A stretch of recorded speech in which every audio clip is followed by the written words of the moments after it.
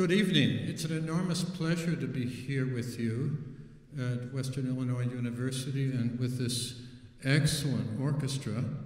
And let me offer you a few brief comments before the next piece, uh, Beethoven's Concerto in C major, opus 15, which he composed just four years after the Magic Flute Overture that Mozart wrote in 1791, this piece from 1795. And it's a generous and brilliant piece that uses some elemental musical ideas, and it's perhaps worth uh, reviewing them briefly. Um, it's amazing, actually, what Beethoven succeeds in doing with some of the most fundamental elements of the musical language. So we begin simply with an octave leap like this. And you notice the first three notes are long, short, short. That rhythm is very important not only in the first movement, but in the other two movements as well. And hence, in the second movement,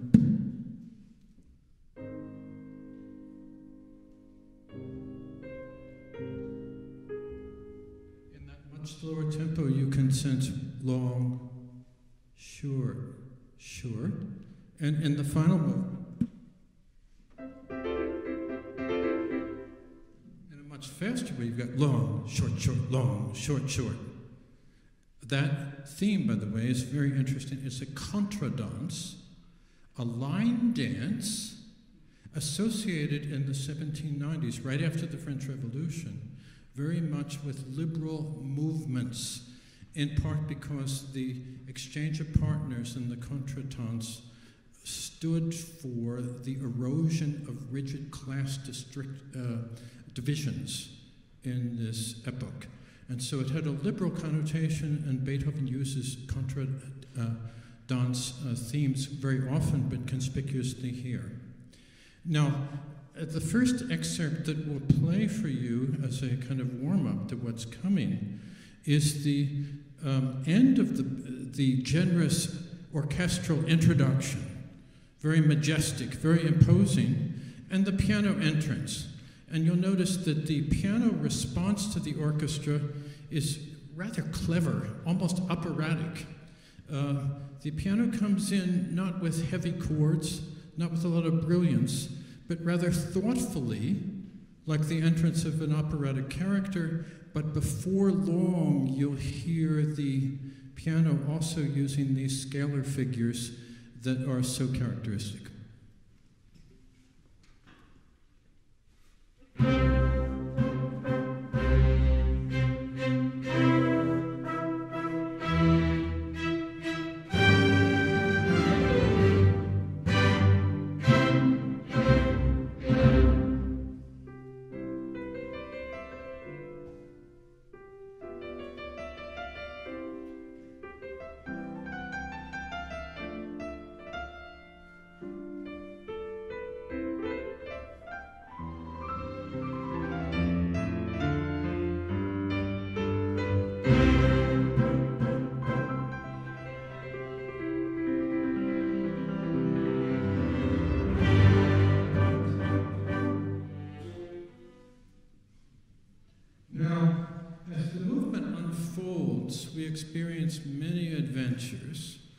And one of the most mysterious passages is right in the middle of the movement when, lo and behold, that key motive with the repeated notes is given to our colleagues who are playing the horns.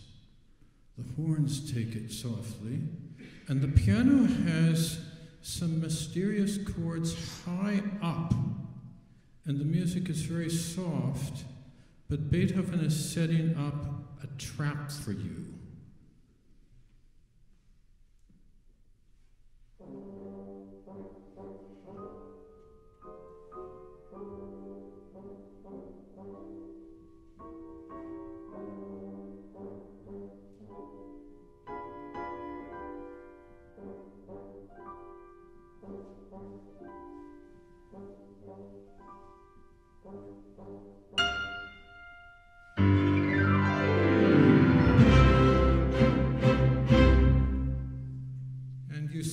Also a quality of Beethoven's piano playing.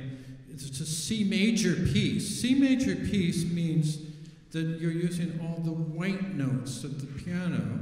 And we already mentioned that he's using scalar ideas, like that initial one that goes like, so you'll hear that these sort of patterns quite often, both ascending and descending, sometimes doubled up, uh, sometimes elaborated. And what you just heard there was a glissando, so a very rapid scale, but the same idea. And in some passages of this piece, Beethoven actually is indulging in, when he wrote this out, in a certain improvisatory freedoms. For example, that passage I just played, he actually notates as a shorter glissando in both hands, but also puts the left hand in. It's, that's a blueprint, that's a basic idea, not a rigid prescription. Because unless the pianist has three hands, they cannot play it that way. It's literally impossible. So um, now, when we get toward the end of the first movement, we encounter a cadenza, a big solo passage. And Beethoven wrote this out in 1809, quite many years after the original performances. Uh, that enabled him actually to use some notes higher up that he didn't have in the 1790s. And this is a real romp of a cadenza, the longest cadenza that he ever wrote out.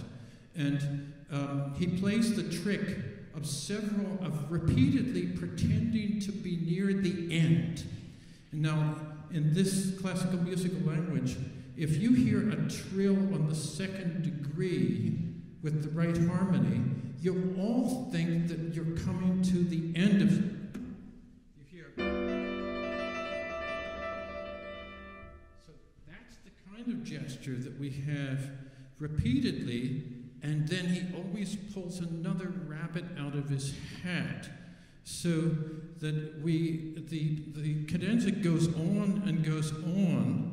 He liked to sometimes torment his fellow musicians and sometimes conductors um, by pretending to be finished and then extending it still longer.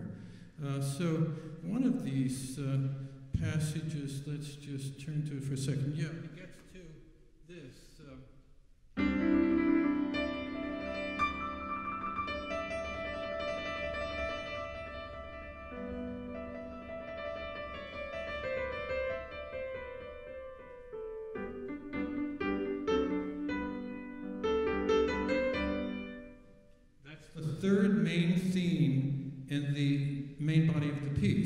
So he pulls that out to extend the cadenza to even greater lengths.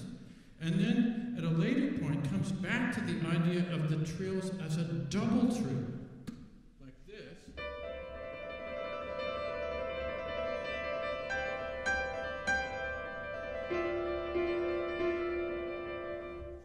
And by this time, the musicians are getting a little impatient with all this. You can imagine that this is